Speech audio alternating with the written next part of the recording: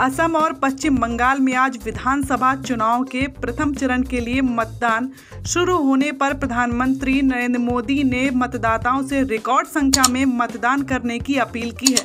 उन्होंने पश्चिम बंगाल और असम के लोगों के लिए अलग अलग ट्वीट कर मतदान प्रक्रिया में ज़्यादा से ज़्यादा संख्या में शामिल होने के लिए कहा है। आपको बता दें कि प्रधानमंत्री ने मतदाताओं के लिए बंगाली भाषा में भी ट्वीट किया है।